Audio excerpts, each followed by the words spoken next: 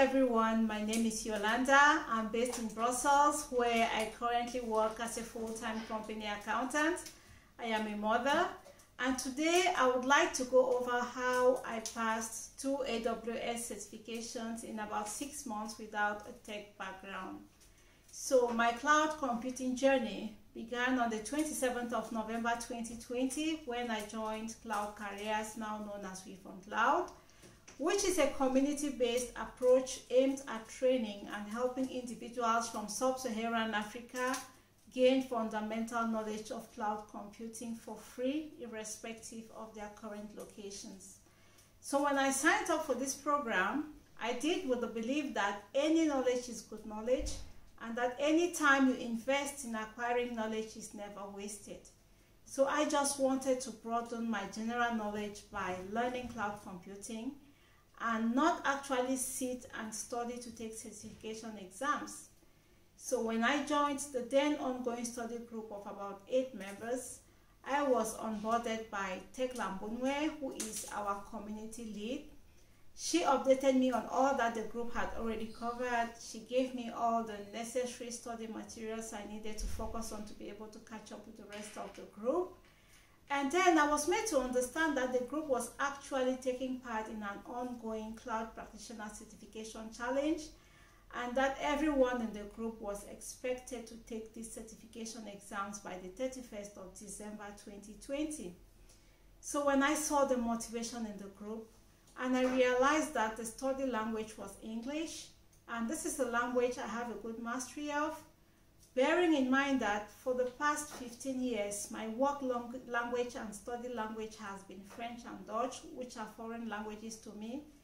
I actually did not have any excuse not to be part of this group. So I became so passionate about cloud computing and I made up my mind to be part of it and to take the certification exams on time.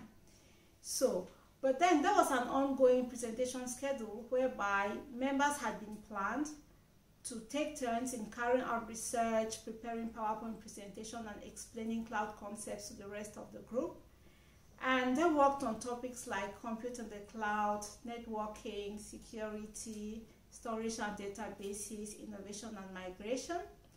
And I did not get the chance to do any presentation since I had to catch up and my name was not in the planning. So what I did was I attended all of the morning sessions, I listened attentively, asked lots of questions, and this actually helped me to quickly grasp the basics of cloud computing and a cross section of the AWS cloud services.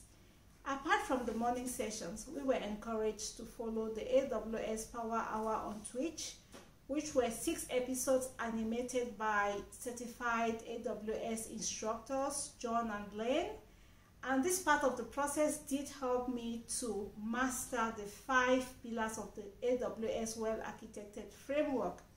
And finally, to evaluate our exam readiness, the team worked on uh, sets of high quality practice test exams from Udemy and Dojo.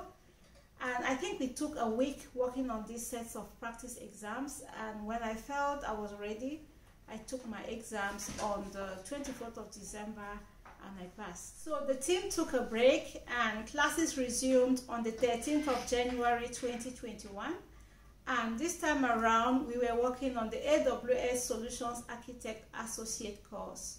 And just to mention here that besides this AWS certification program, we also had sessions on Terraform by HashiCorp. And so group members were once more called upon to do presentations and each group member had the opportunity to present at least two topics. And here I can't overemphasize the importance of being part of a study group and be given such a wonderful opportunity, which is a challenge, I understand, but I say it's wonderful because it does not only help you to build your presentation and communication skills, it helped me to master the EC2 instance and advanced networking since these were the two topics that were assigned to me. We equally had situations whereby after following the Udemy and Dojo courses, the video courses online, one or two group members are likely to understand something that you do not understand.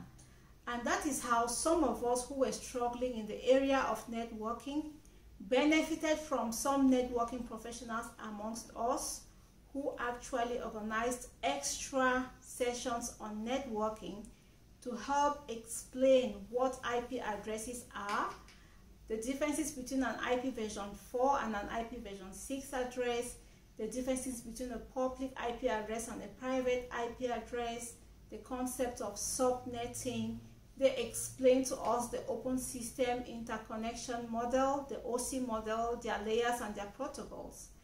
And you would also benefit from situations whereby a group member would use an analogy just to simplify a complex cloud concept. And this will not only help you grasp this concept, you will have to remember it for a very long time. So this was the approach. We studied in a group, we shared ideas, did presentations. But I would mention here also that the main focus for the Solutions Architect Associate course was to gain more hands-on experience. And so we were actually encouraged to do lots of labs. And that is how I took advantage of my AWS free tier accounts. I created an IAM admin account, set up a multi-factor authentication to protect my account, created IAM users, launched EC2 instances, created an S3 bucket, uploaded objects into the bucket, created an AWS organization, and I did try out lots of exciting labs based on a comprehensive study material by Adrian Cantrill, and this actually helped me to gain the necessary tech skills required for an AWS solutions architect role. And finally, to also help us prepare for the exams, we took practice tests from Udemy and Dojo. And that is how I passed my exams on the 19th of June 2021. So I would like to sincerely thank the founder of WirfonCloud, Mr. Banji Kangor, for introducing me to cloud computing and for creating this platform where one can network and study with like-minded and motivated professionals from different parts of the world. And I would like to thank him also for his mentorship and how he really helped me to pass the certification exams. And to conclude, I would say that it's rather unfortunate that for most of us, learning ends when we finish high school or complete college. And that's the last time we learned anything. So guys, it's so wonderful that we now have access to a continuous learning platform at WirfonCloud at a time when the demand for cloud computing skills are on the rise. So let's roll the cloud. Thank you very much.